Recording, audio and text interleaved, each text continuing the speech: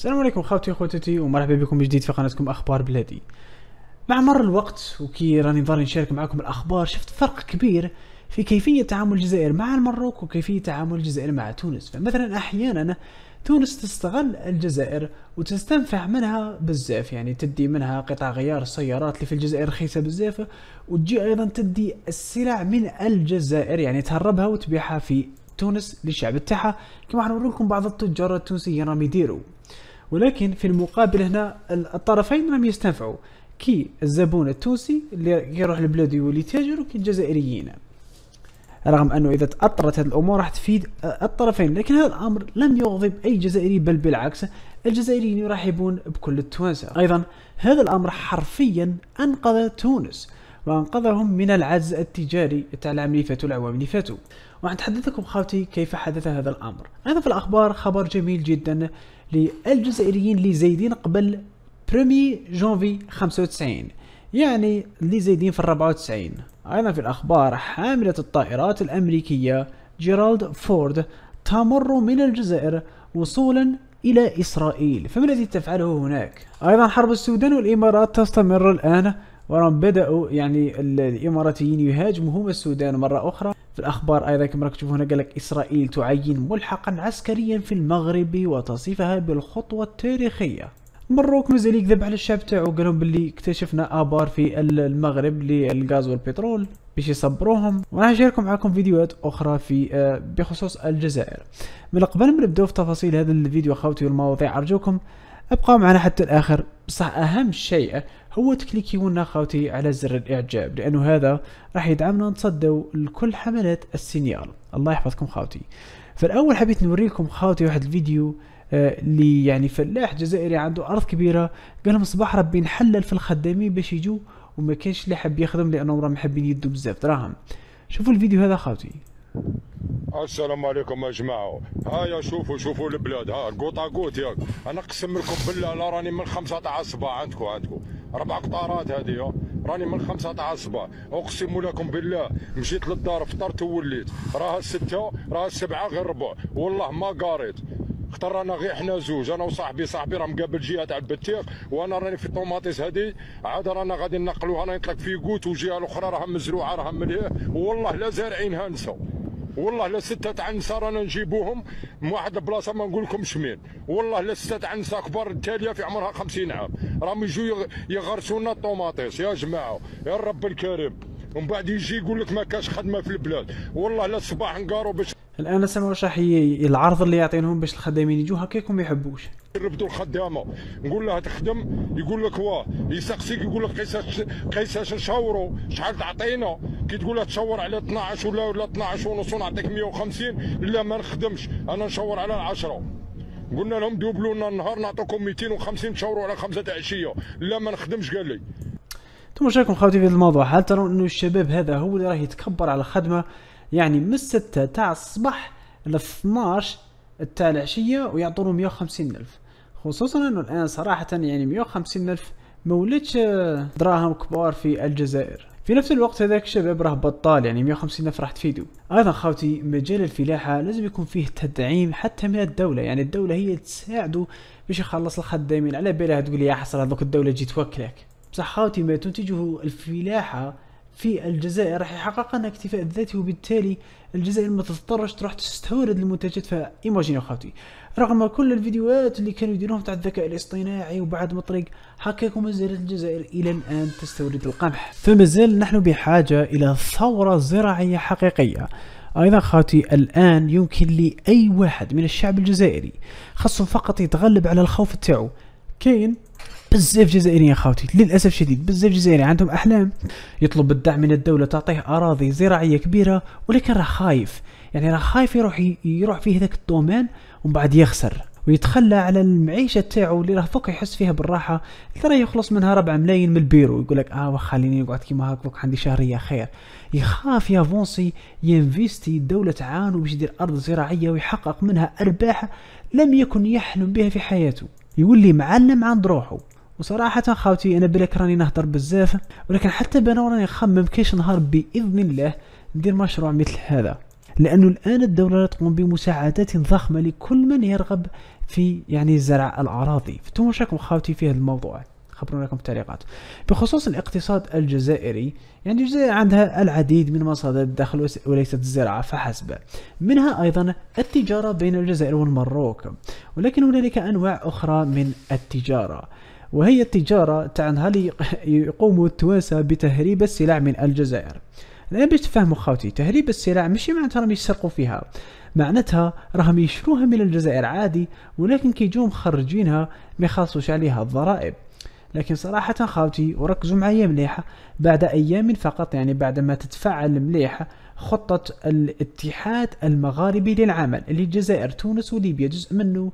يعني هذا الأمر ما يوليش تهريب يولي أمر عادي. تقدر تدخل للجزائر تجيب البترول ولا تجيب ماشي البترول إنما تجيب زعما كيما نقولوا بيد نتاع l'essence وتدخل. كيما تحب ما همش راح يديروا لك الضرائب لأنه هذا الأمر راح يولي عادي تقدر تدخل. وحتى الجزائريين يقدروا يروحوا لتونس يشروا حوايج من تونس ربما حتى السيارات من تونس وليبيا وندخلوها بشكل عادي دون ضرائب لأنه هذه هي الركيزه وهذه هي أصلا الاساس تاع الاتحاد المغربي للعمل. يعني تولي مثل الاتحاد الأوروبي.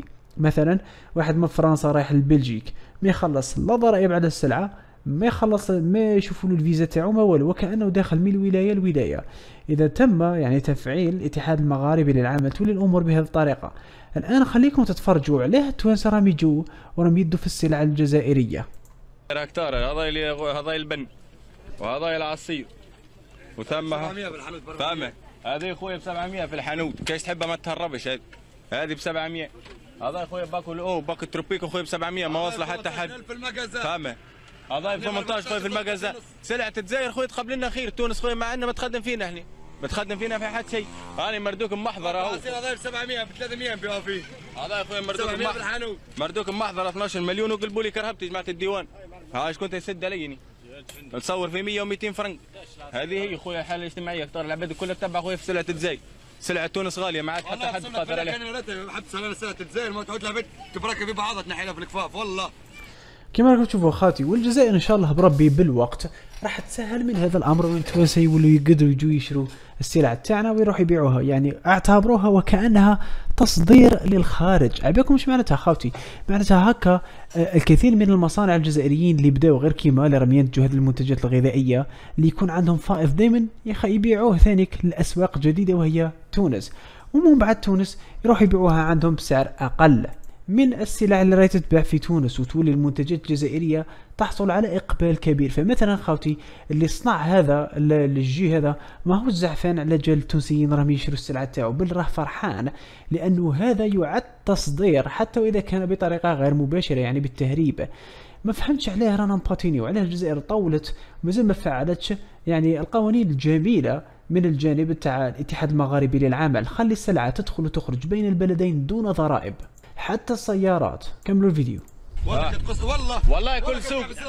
ما تعود ضاري كل والله ضاري كل سوق. نسمع سرقة. هاو سرق الشتوشي 400 500 تل.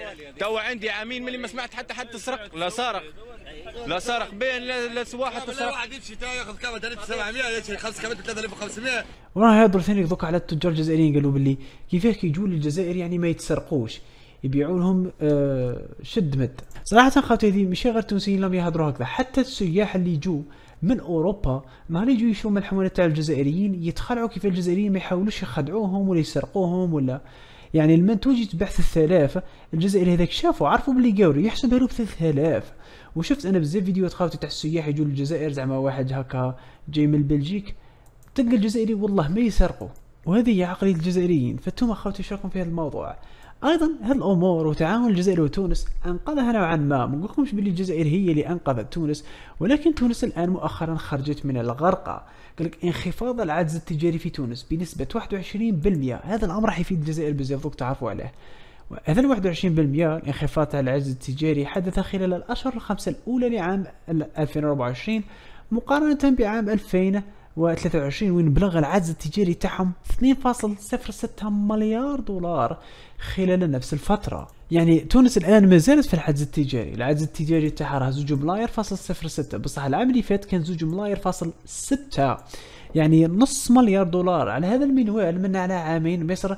آه، قلت لك مصر تونس تسلك من العجز التجاري. ولكن لكي يحدث هذا لازم آه، تتعاون الجزائر مع تونس. أيضا آه، كي تسلك تونس من العجز التجاري هذا الأمر راح يفيد الجزائر لأنه تولي دولة اقتصادية قوية متحدة مع الجزائر وليس ك يعني دولة اقتصادية ضعيفة عندها عجز تجاري. هكذا تحسها تنقد من ظهرك. بخصوص الخبر الجميل إعفاء المواطنين الشباب المولودين قبل تاريخ 1 جونفي 1995 ولم يتم تجنيدهم بعد من التزامات الخدمة الوطنية. يعني خاوتي اللي زايدين أصحاب ال 94 93 92 91 90 هذوك كاع اللي راطاو آه، و- يهربوا من الخدمة الوطنية الآن تم إعفاؤهم. مبروك عليكم خاوتي ولكن اللي زايد في 1 جانفي 1995 ماهوش معني بهذا الأمر. يعني غير اللي زايدين قبل هذا التاريخ. صراحة أنا والله ما عمري ما اتفقت على هذه إجبارية الخدمة الوطنية وقاع ونتمنى من الشباب الجزائري كله يحصل على الإعفاء آه الوط من الخدمة الوطنية. كاين بزاف ناس كاين بزاف جزائريين متلهفين باش يروحوا يديروا الخدمة الوطنية. حابين يقاجوا يعطي لهم برك وهكا يكون ساكن وما يتقبلوش. فانتوما خاوتي واش في هذا الموضوع؟ خبرونا لكم في التعليقات. حامل الطائرات الأمريكية جيرالد فورد والأسطول المرافق لها الآن تمر عبر الجزائر في البحر الأبيض المتوسط وصولا إلى شمال إسرائيل أو فلسطين المحتلة. بصح خاوتي هذا الأمر خطير جدا على بالكم لأنه مؤخرا راهي بدأت تلتها إسرائيل بلبنان. ويعني كانت زعفانه كيف الامريكان ما حبتش تدعمها بالأسلحة أكثر. لأنه إسرائيل مؤخرا مؤخرا بدأت تطلب بزاف.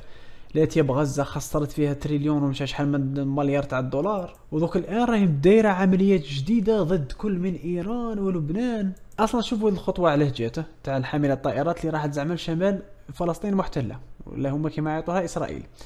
قال لك تأتي هذه الخطوة بعد تهديدات حزب الله بتحويل البحر الأبيض المتوسط واللي الجزائر جزء منه إلى بحر ساخن في حالة قيام سلاح الجو الإسرائيلي بشن هجمات من مطارات في قبرص. لكن على بالكم قبرص راهي فيها مطارات تابعة لإسرائيل ولا لسلاح الجو الإسرائيلي ومعاولة تستخدمها إسرائيل باش تهاجم على لبنان. أما لا حزب الله هددها قالت لها لو كانت تستخدميها ضدي البحر الأ- الأبيض المتوسط نحرموا عليكم والسفن تاعكم ما توليش تعبر فيها. أما لا ايماجينيو الآن خاوتي اليمن راهي مسكرة البحر الأحمر والمحيط الهندي على إسرائيل وأمريكا وبريطانيا. ايماجينيو ثاني تزيد تسكرها آه لبنان. ولا آه هذه حزب الله على كل من أمريكا وبريطانيا وإسرائيل. يعني خلاص التجارة تاعهم تنعدم. فأمريكا تصدر الكثير من الغاز عبر هذه الممرات. ونفس الشيء بالنسبة لإسرائيل. هذا الأمر ما هوش قاع في صالحهم. الآن يعني أمريكا جابت أقوى قطعة سلاح في الجيش تاعها وهي حاملة الطائرات. وراهي معوله تقضي بها على حزب الله. هذا ما أظنه. فأنتم وش رايكم في هذا الموضوع خاوتي خبرونا في التعليقات. كما راكم تشوفوا خاوتي شاركنا معكم أبرز عناوين أخبار اليوم. للأسف الشديد ما كفاناش الوقت ولكن يعني الأخبار راكم عارفينهم كاع فمثلا هذا خبر إسرائيل تعين ملحقا عسكريا في المغرب وتصف الخطوة بالتاريخية. بين قوسين إسرائيل راهي حاطه عساسين في المروك وراهي تقول هذه الخطوة تاريخية وطبعا مادام لقيت بلاد كما المروك تفتح لها وتشرع لها بيبانها. كما راكم تشوفوا خاوتي رانا وصلنا لنهاية الفيديو. إذا عجبكم أرجوكم ما تنساوش تكليكيونا على زر الإعجاب. وما تنساوش أيضا تشتركونا في القناة. خاوتي هذا مهم.